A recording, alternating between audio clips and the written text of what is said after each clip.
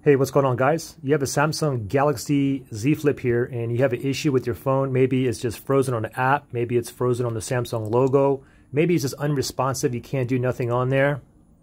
Or maybe it's caught in a boot loop. Anyways, I'm going to show you how to get out of it. Very, very simple. What we're going to simply do is force the Z Flip to restart. Okay, so how you do that? It's a two key combination. What you got to do is press and hold the volume down and the power button Press and hold at the same time and do not let go until the Samsung logo appears. Okay, again, volume down, power button. Press and hold at the same time until you see the Samsung logo. Let's go ahead and do this together. So it's going to be the volume down and the power button, okay? So volume down, power button. Ready? One, two, three. Press and hold. Do not let go. Don't worry about what's going on on the screen. Just keep holding until we see that Samsung logo appear. I'm still holding.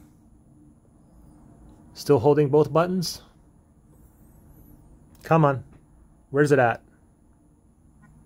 Samsung logo appears. Go ahead and let go. And now you should be back up and running.